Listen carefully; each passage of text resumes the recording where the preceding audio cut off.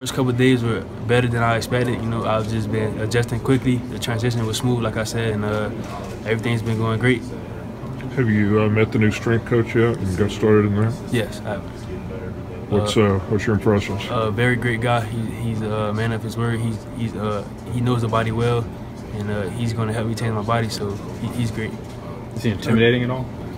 Uh, nah, Rock is cool. He he's the opposite of what a uh, what you think a strength coach looks like, but he's he's a very cool guy. Uh, he he's like he he attacks the job with more of a mind standpoint. Like he, he he knows the body well, and he just he uses like a lot of science and things like that. So he's good. Did you watch Hard Knocks? Uh, yes, I watched it. I watched a little clip of him. Yeah. So is he what he portrayed on television, or is it a little different than how he looked on TV? Uh, it looked it looked quite different, but like getting to know him, he, he's a great guy. He, he's really good. I like him.